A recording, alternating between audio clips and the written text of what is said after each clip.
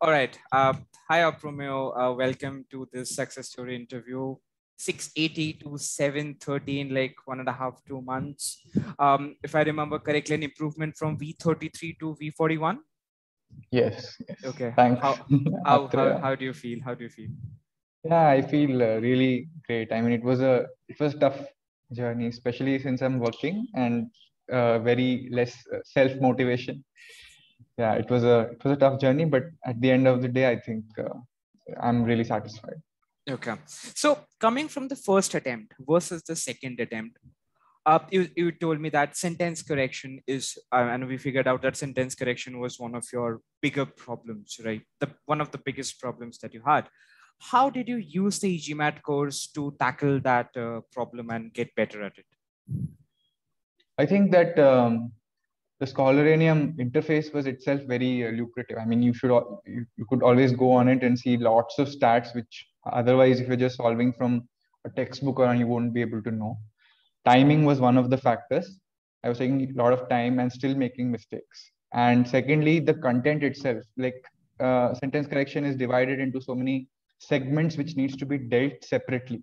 Modifiers, otherwise we are looking at sentence correction as one big whole but it's not so. You have to be able to differentiate between what all things are. That was i mean the content in egmat was flawless. So i could spend a lot of time in each of those aspects. And then uh, automatically i saw my scores improve actually when i was doing the practice tests and all. Mhm. and slowly slowly as i gained confidence uh, I, I think uh, it actually showed in my mocks as well Mhm. so that was the that was the sequence in which it went Okay. And and and um, I don't know if you know this, uh, but you had 98 percentage uh, as your as your accuracy in the practice quizzes in sentence correction being sentence correction being your weakest subsection. So that was the perfect utilization of the courses, what I, I feel. But so that's a that was a very good job done. Uh, what about the other two subsections, critical reasoning and reading comprehension?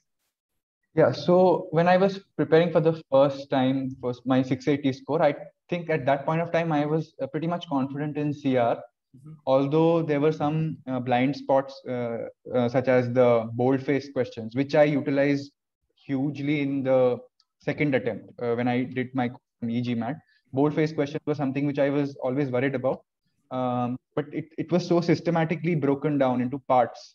Like cr also consists of a lot of parts such as inferences and conclusions and all to be able to identify that particularly and then go through systematically step by step uh, i think uh, gave me a lot of confidence now every time i used to read one passage i mean one critical reasoning question i could understand the full entirety of it and probably that's how even helped me uh, score more than what i would have uh, in uh, the previous time and So- rc Mhm. yeah Yeah, please go ahead. Yeah, and for the uh, for the RC part, I feel that uh, I was fairly good at RC because I could uh, comprehend a little bit longer passages uh, uh, in one stretch. So I didn't focus too much on learning learning uh, from the EGMAT course, but I focused a lot on doing the questions. So which again boosted my confidence and which is integral to going and solving on the test day. So you talked about how the approach, now that you looked at a critical reasoning passage, you could you know go closer to the answer versus the first attempt that you were preparing for. So that essentially tells me that you imbibe the pre-thinking approach properly. Um, on the same lines did since you were weak in sentence correction did the meaning-based approach also help you a lot for solving sc questions versus the first time you, you were you were tackling the exam Yeah, yeah, definitely. I think the meaning-based approach is the best approach uh, possible to do SC questions. I mean, first of all, if uh, if you just get the meaning right, uh, most of the times uh, all the uh, incorrect answers can be directed without even going to the grammar and the you know uh, syntax part of the sentences. So that is the best approach, and uh, there is no doubt about it. That is what helped me, I think, at the end of the day. Okay, okay. So um, coming back to CR and RC, since you told that you were fairly familiar with the topics, how did you use Scholaranium? Because you were solving a lot of questions, as you mentioned. Uh, Yeah. Solving those questions, then going to Scholaranium. Uh, what data points were you looking at and then why did you come back to the course to to, to you know tackle those um, you know possible gaps that that were there yeah so one of the key points which i was looking at was time uh, so the average time taken or the median time taken by me versus the people who have gotten it correct uh, so i was lagging a bit in the time aspect in almost all of the verbal part uh, so there were some particular places. Uh, if I saw that I'm lagging, I would go and uh, do the uh, theory part of it from the EGMAT course once again, okay. just to be sure that uh, okay, I have the fundamentals right. And again, I'll go back to the Scholaranium and just keep on doing the questions until I get a get to a 80% or 85% accuracy. So once I get to that point, I feel okay. Now this part is, I think we can the next one. Okay, so so uh, what we call that as precision targeting. You solve some questions. Uh, if you are fairly strong at the topic, you solve a few questions. You look at the called stats. You know, maybe for as you mentioned for CR, you had boldface as an issue. Then you go back to the course and figure out uh, and and do the entire course um, of boldface to become better. That's that's the the best use of Scholaranium. Is is what we? Yeah, I was feeling an urge from inside if it was under 80%, like I have to go and beyond 80%, only then I'll be happy Clear for the okay. day. Next, I can I have I can do go ahead with my life after getting okay. that 80%.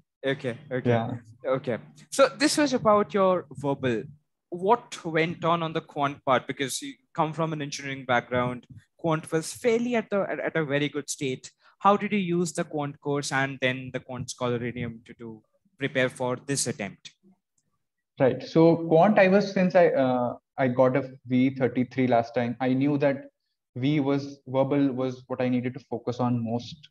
Uh, since I'm fairly good at quant, I didn't pay uh, pay uh, too much attention to quant initially. Of course, when the exam dates were arriving, uh, suddenly it hits you that you need to do quant as well. Mm-hmm. So I quickly uh, glanced through what all the topics, uh, how it has been broken down in the EGMAT course. So I I was a little bit uh, afraid of the combinatorics. I mean, the probability and combination permutation part. Uh, like uh, historically, I have not been good at it. Okay. So I went through that those uh, particular uh, topics specifically, mm-hmm. and I solved some questions. And I thought if I do the mocks and just analyze my mock, I think the uh, preparation for quant will be enough. Okay. Even though I messed up on the test day a little bit, but it didn't. Finally, I managed to get a Q49. So, so, so I think uh, it's fairly fine. You yeah. said that you, you messed up on the test day. What happened? Yeah, so I uh, I took the QV uh, order. So mm-hmm. first was quant. So I started with the quant question, first question, and uh, I'm not able to solve it. Six minutes are gone. Six minutes into the question, I'm still not able to mark the correct answer, and now it's going into a bad cycle. Like, why am I not able to solve it? And I know that first 10 questions at least need to be correct. Mm-hmm. So I don't know what happened. I just somehow marked it and uh, went on with it. And um, at the end of the uh, you know section, uh, when 10 minutes were remaining, I had 10 questions left. So this was I somehow had to go through it. Mm-hmm. Uh, then I, I think my brain started working faster at that time. So uh, I was able to finish, I think, eight questions out of those 10 within the 10 minutes, and two questions I just marked uh, just randomly before the time ended and okay. that was my okay. strategy okay okay um, uh, now after the quant is done fairly fine because you were all uh, you were fairly fairly good with quants throughout um, then started the verbal subsection you knew that verbal was a problem last time but now yeah. you were prepared how confident were you you know doing the entire course solving questions taking the mocks and i'll come to mocks in a little bit but but how confident were you when you started solving the verbal paper in your actual GMAT? Right. So uh, I was fairly confident going into the test at the first place, but after the quant, uh, uh, you know, fiasco, I my confidence level went a little bit down. Okay. But turns out when I started the verbal section after doing two three questions, I was back on track because I had practiced uh, verbal so many times. Mm-hmm. Like it now felt like uh, very natural for me to see a CR question or an SC question, mm-hmm. and suddenly then it became like I didn't even think about the time and all. I just just kept on doing the questions, mm-hmm. and uh, I think I was more confident in verbal than quant at the end of the test. So okay. I thought if somebody's pulling me down, it would uh-huh. be the quant part and not the verbal part because I was uh, I think I was pretty much happy with my quant perform I mean verbal performance. Okay, okay. Uh, now coming back to your mocks, I was actually looking at your um, account before we had this and uh, before we were having this, you know. Uh, I saw that you took a diagnostic test, which was a very good activity because you need to understand what score are you starting off with, what are your strengths, what are your weaknesses, do you have ability gaps, do you have timing gaps, all of that.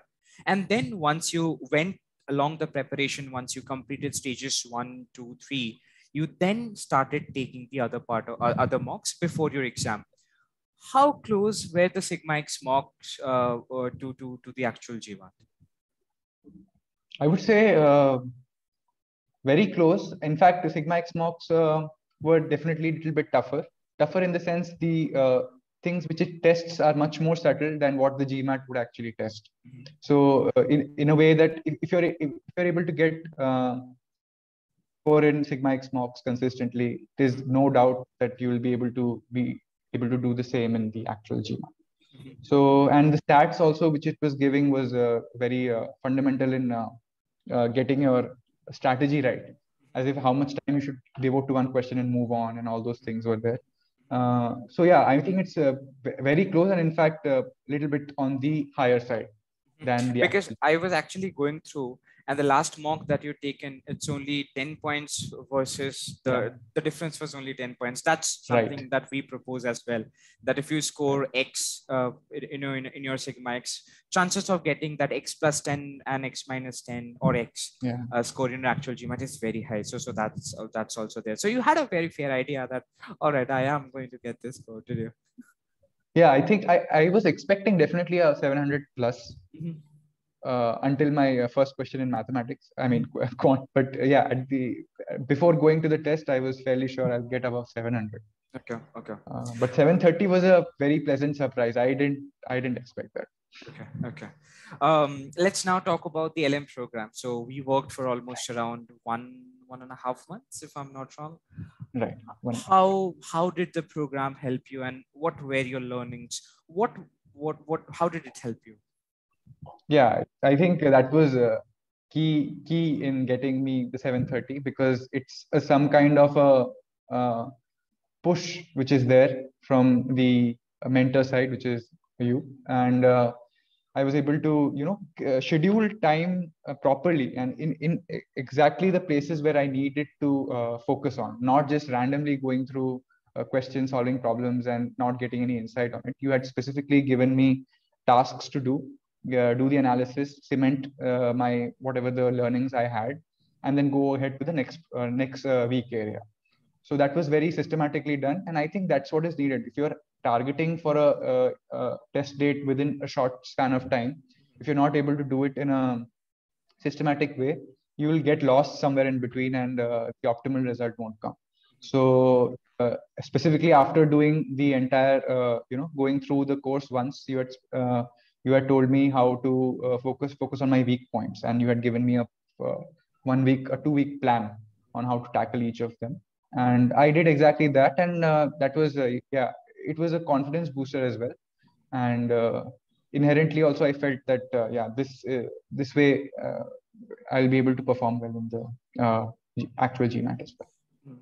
Very honestly, you know, it's all the GMAT course and the data that even we get from Scholarly. What we are looking at is is how you did the course and what are the outcomes based on which we create those plans for you.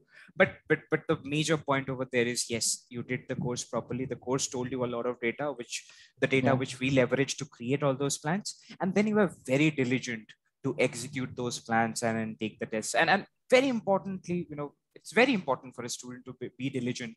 If you're taking the test in a very short amount of time and you need good improvements right. uh, specifically when you know that you are not that strong at certain or maybe two topics. So so that's that's very important. On the same lines if someone is let's say targeting a good score improvement in a very short amount of time what would your tips be to that candidate? I would say that uh, uh, you need to focus on not solving problems but to understand what uh, exactly that problem is. For example in sentence correction you need to be able to differentiate between uh, the types of problems uh, asked by the by GMAT. I mean, uh, modifiers, verbs. You need to be able to separate out what kind of errors are there in in a particular sentence. So that is particularly for sentence correction. And similarly for uh, CR also and RC also, you need to be understand. You need to understand what the uh, GMAT is trying to get from you. They they want you to comprehend the problem rather than just find out the mistakes and uh, try to solve it uh, and try to you know patch it up. So until you get to the core of the problem, you won't be able to increase your marks significantly in a short period of time. So that requires a little bit, uh, yeah, how, delving how to into, reach how to reach that core. My next question. Yeah, I think you should you should take the GMAT course. There's no other way. okay. So by that you essentially mean that you need to do the course properly. If you, you need to do the course whatever properly. resource you have, you have there to make no sure you utilize the resource properly. Otherwise, you're not improving. Perfectly. Pre-thinking, pre-thinking, and meaning analysis are, I think, the greatest tools for someone who is weak in the verbal section. Okay. They need to master that. Okay. Very interesting. So, so now admissions so what are your plans? Where are you applying and how is that process coming along? Yeah so i've streamlined at five universities uh, i'll be applying to. Mostly okay. i'm uh, targeting europe. Okay. Uh, it's a little europe heavy. Uh, so hec uh, lbs um, and iese spain are the three europe uh, european universities. And in, in the united states i'll be applying to tuck and as a uh, you know uh, this first time attempt since i've got 730 you have a lot of uh, enthusiasm. I'll apply to stanford as well. Okay. so let's see what goes. Okay okay. I wish you all the best Aprameyo. Uh, it was it was very interesting you know right from day one you were a very diligent student which we always envisage that if you're a diligent student scoring well would not be a problem and you were one of those you did it at the end of the day scored scored a 730 so thank you for being with us and sharing all these insights. Really helpful and all the best for your admissions and applications. Thank you so much atreya. And it was a pleasure working with you. And uh, thank you for pushing me to get the 730 always a pleasure. Okay